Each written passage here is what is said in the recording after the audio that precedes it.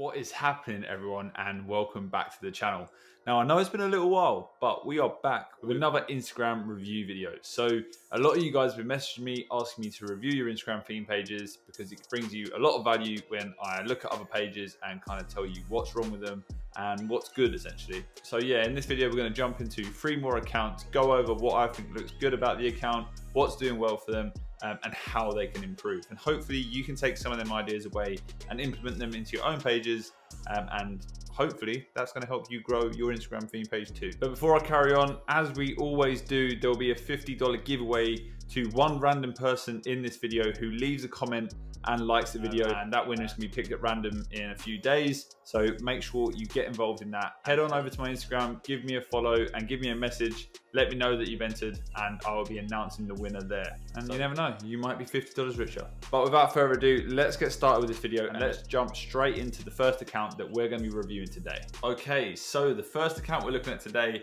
is camp.lifestyle now obviously these guys do camping and nature style content where they're going to be looking at cool campsites, maybe some cool places that you can stay, uh, different adventure and travel stuff too. So let's jump straight into it and check out their page. Straight off the bat, they've got a really cool name and it's really, really easy to remember. Along with that, they've got a really nice looking logo, uh, which looks like it's been made on Canva or something similar. Um, so yeah, that's really good straight off the get-go there. Camping in nature, live life to the fullest and focus on the positive. Now, cool, short and catchy, nice use of emojis there. Maybe I'd have, add another line, maybe a call to action such as follow me or follow this page to keep up to date um, with new and creative places for you to stay. Something like that. Let's jump into the content. So as you can see here, comment your favorite camping food. Would you like, would you look at the scenery? Uh, sometimes simple design is best. Cool. So one good thing about this page is it sets itself up to, for some really good opportunities to sell products. As you can see here, you know, there's a full array of different products that could potentially be sold to campers. So it could be a pretty good niche to be in um, if you wanted to do promotions in the future or potentially open up your own camping style shop, whether that's a drop shipping store or your own product. You know, you've got rucksacks there, you've got different mats, you've got water bottles, uh, equipment such as even carrying cases, flasks, little mini bags, gloves, torches, all of that sort of stuff. There's a huge range of different products that can be beneficial to people that are into camping and sort of the adventure lifestyle niche. So yeah, look, all in all, the content looks pretty good. You're getting a good amount of likes, and it looks like you're putting some time into your captions as well. You know, you're you're driving that engagement by asking people to like the the photo if they would live there. Um, you're asking people to then follow your page, um, letting them know that you know you're posting daily too. It looks like you're crediting people as well, which is really good. That's going to help you not get your account banned. Obviously, I would double check before you still post anyone's content that they are happy for you to do that. So just shoot a message beforehand. I've got plenty of videos on the topic. Um, and that will cover you there. So your hashtags are working well, you're switching them up every post, which is great. I don't think that's necessary. I don't really do it with my pages but a lot of people have seen great results from switching up the, the different hashtags every time they post. Um, one thing I would note is you're obviously only posting photos at this moment in time. I would see if you can find some cool adventure videos, uh, maybe some different videos you can use for Reels. I always talk about it because it works so well. Uh, Reels are still blowing up on all the pages that I have, um, and it should definitely be something that you should be using in your strategy too. So yeah, see if you can find any new videos or reels around your topic and your niche um, and get posting them. But all in all, it's a pretty good page. You know, 31k followers, just under 700 posts. There is one thing that's just occurred to me though. I've just looked at the posting schedule. So 26th of May, 25th of May, 24th of May, 17th. It looked like you was posting semi-consistently, but now you've just stopped. So whether or not you've just kind of given up on this page or you you know maybe you're bored of it or maybe it's just not growing as fast as you would like i would really recommend you get back into it as soon as possible because the longer you leave it uh, the easier it is for your instagram theme page to just die essentially like when you come back to it after you know three or four months off and you start posting again it's really really difficult to build that engagement back up um, and get an audience that not only trusts your your page but actually wants to follow you so I would definitely start posting this again, whether or not you use an automation software such as later.com um, or hiring a virtual assistant to help you there. But yeah, definitely jump on it because you've got a really nice page here and it seems like such a waste for it to just go. See, I could have bought this flask from your Instagram page, mate. It would have been a great product for you to sell. Okay, on to the next one. So the next page we're going to be looking at today is Fitness Popular Monsters. Now, straight off the bat, they've got a cool logo that looks really good. And it's really eye-catching. You know, the fit fitness in big bold text there really stands out in your feed, um, and it looks really, really professional when you actually come to the page too. So they've got a good use of emojis and a nice amount of call to actions in their caption there. You know, all the best workout clips in one place, helping you to become fit and stronger. Follow us for daily fitness and gym motivations, and then diet plans. So obviously you, you're trying to make some money there selling diet plans or maybe you're just giving away some free content in exchange for emails. So I really like how you've got uh, similar branded icons there for your highlighted stories. That looks really, really good. Um, and you're sticking within your color theme too. So that's really nice. That's a good way of building up uh, a solid brand going forward uh, and one that people can remember. So let's jump into your content. One day ago, two days ago, three days ago, four days ago, you're posting consistently, which is great. And with only 9,000 followers, seems like you're getting a good amount of engagement. You know, 760 likes there. These ones didn't do so well, um, but you are crediting people. You are giving them a CTA to follow you. Again, you've got some good hashtags, which will be working well for you. Um, it looks like some of your posts don't do as well as others. Now, this could be an array of different things. This could be maybe you're posting at the wrong time, uh, a time that your audience just isn't awake or active. So I'd always go into your insights, make sure you have a business page set up, go into your insights and just check out when your followers are most active. Obviously, if you've got a pre predominantly American following, you need to be posting at times that work with Americans. For example, my accounts have big American followings as most of yours do. So I'm posting at 6 p.m. American time, which is like 10 p.m. UK time, give or take. You want your post to be hitting your audience's newsfeed when they're actually on Instagram and most active. So it looks like the covers you're using are fine as well, and you're using a good mix of different content types. So it looks like you're using a lot of carousels. Uh, perhaps you should maybe switch that up and start using some more reels and some more videos.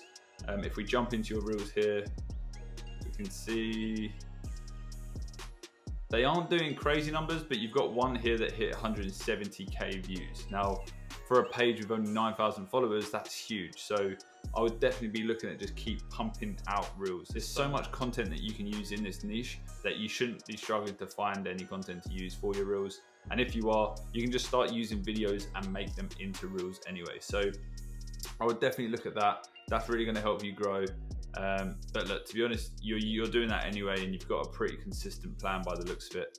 Um, you just got to keep at it and keep focusing on being consistent and delivering content at the right times for your audience. Cool. So the final page we're going to be reviewing today is the television junkie. Now, the name's cool. I like that. It, there's no full stops. There's no underscores. Really simple and really, really easy to remember. Um, and with that, you've got a cool logo there as well.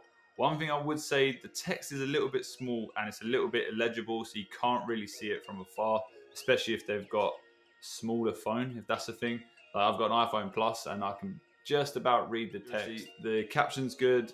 Filmmaking is a chance to live many lifetimes. Robert Altman, your own personal movie gallery. Follow for daily cinematic updates. Cool. Nice and simple. I like it.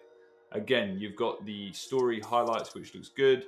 Maybe I'll try switching it up. Instead of having the text there that you can't really read, I would just have icons that associate with individual things, such as, you know, you've got suggestions, polls, quiz time, page growth.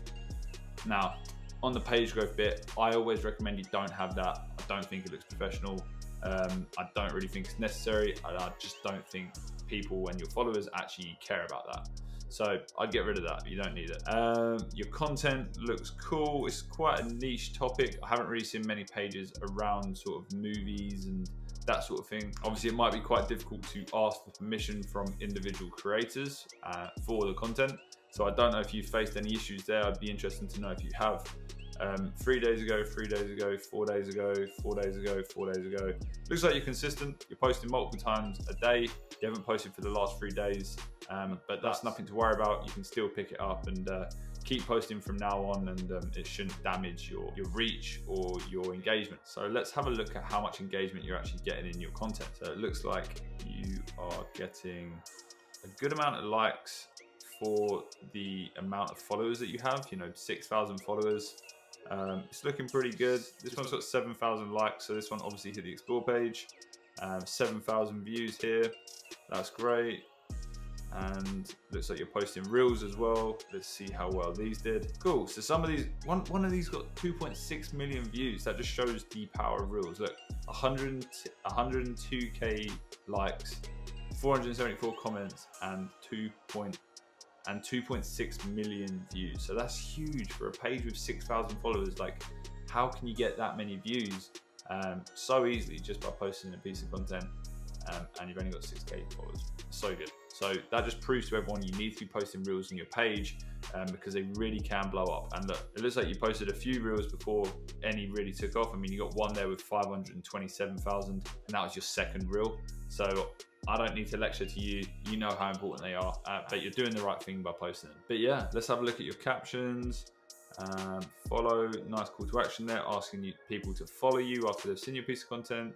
Uh, you've got your own hashtag, which cool, reinforces that brand there. Um, and you are crediting the person you've taken that content from. Now, I see a lot of people will post their hashtags. Yeah, cool. So you're posting your hashtags as the first comment, uh, which is another method some people use doesn't really matter which way you do it. That's fine as long as you do have hashtags because they are an important part of everyone's strategy on Instagram, or at least they should be. But yeah, all in all, that's a pretty good page. I would just keep doing what you're doing. Um, obviously, it's a bit more difficult to find content like this for you to use uh, because I'm assuming your pool of potential content creators is pretty small. Um, and you could face some copyright issues if you're not careful with what you pick.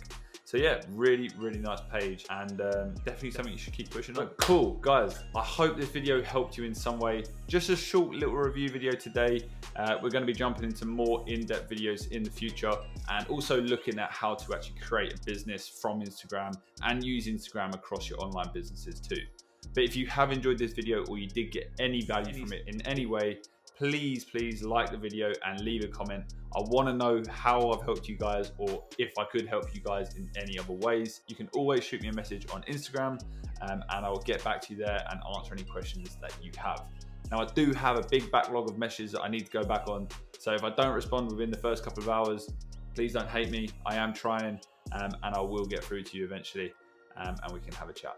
But yeah, look guys, thank you for tuning in. If you've watched this much of the video and you, you've watched it all the way to the very end, then you are a legend and I wish you all the best of luck with your Instagram theme pages and I'll see you in the next video. Bye.